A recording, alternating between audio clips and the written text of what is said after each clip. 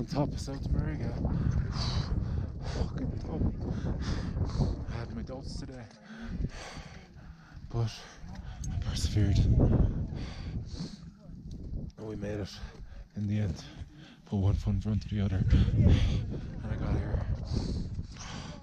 That was nothing but will.